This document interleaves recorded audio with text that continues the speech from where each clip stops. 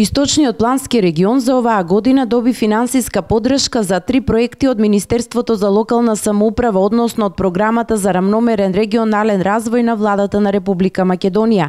Центарот за развој на Источниот плански регион аплицираше со четири проекти, но проектот за реконструкција на целосно руинирана куќа со стара архитектура во Штипско Новосело не е одобрен заради тоа што не ја помина административната контрола на Бирото за регионален развој. Средствата планирани планирани за овој проект се пренасочени во Виница за регулација на коритото на Виничка река. Регулација на Виничка река. Значи користиме 14 милиона денари за три проекти. Еден од проектот е регионален етнопарк во општина Зрновци со некаде околу 56.000 евра.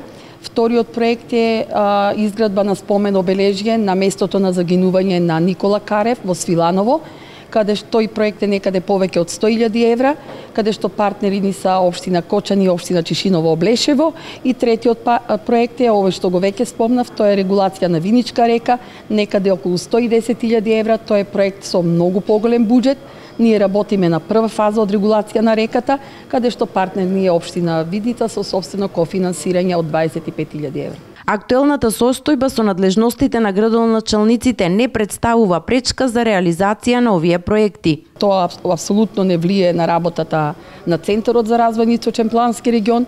Регионалниот совет сите одлуки ги донесе благовремено.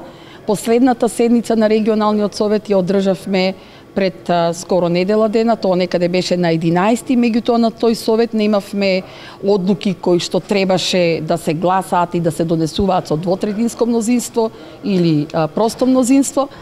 А, центрот работи согласно законот за работни односи, вработените се така примени, подписник на сметката на центарот сум јас како директор на центарот.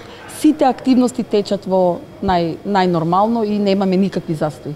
Тендерските постапки за сите три проекти ќе финишираат до крајот на мај, а рокот за целосна нивна реализација е 15 ноември оваа година.